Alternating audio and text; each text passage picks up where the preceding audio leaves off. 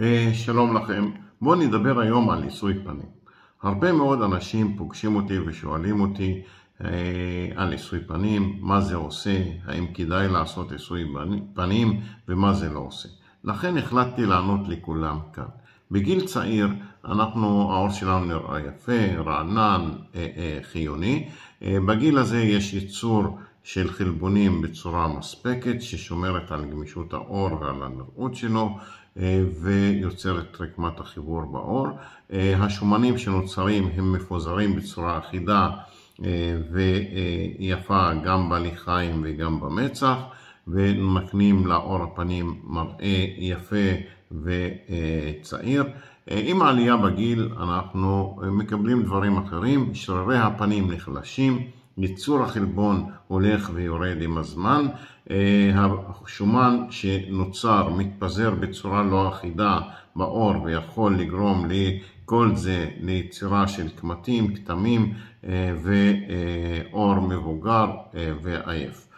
למניעת התהליכים האלה או אף לעיכוב אותם תהליכים חשוב מאוד לשמור על היגיינת העור וגם על טיפוח בריא, יעיל ובטוח לשימוש ובעיקר במוצרים טבעיים אה, אה, ומוכחים.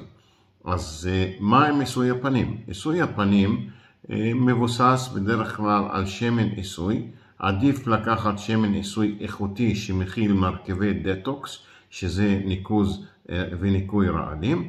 ומה זה עושה? אחד, זה מגביר את זרימת הדם בעור הפנים ומקנה לתאים יותר הזנה, יותר רעננות ויותר אה, אה, חיים.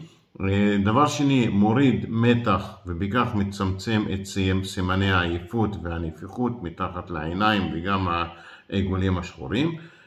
דבר שלישי, גורם לפינוי רעלים ולניקוז לימפה, שזה מאוד חשוב וחיוני לבריאות של העור. ודבר רביעי, משפר גמישות העור אה, של עור הפנים, אשר מקל על הקמטים ומעניק מראה רענן ויפה.